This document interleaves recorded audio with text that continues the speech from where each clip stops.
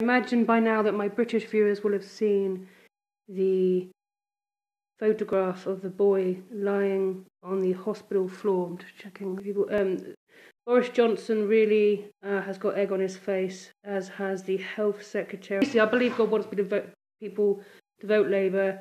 He wants me to vote Labour and be part of. You know, I pray to God about what His will is.